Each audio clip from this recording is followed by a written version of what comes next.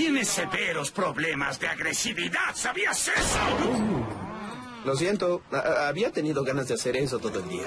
Y ahora que tengo su atención, quiero presentarles a alguien.